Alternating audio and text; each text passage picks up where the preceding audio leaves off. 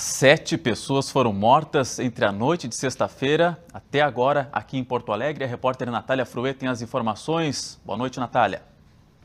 Oi, Léo, uma boa noite a todos. Pois é, o crime mais recente aconteceu agora há pouco, no bairro Lomba do Pinheiro, que fica na zona leste aqui da capital. A polícia ainda está no local do crime, apurando as informações para saber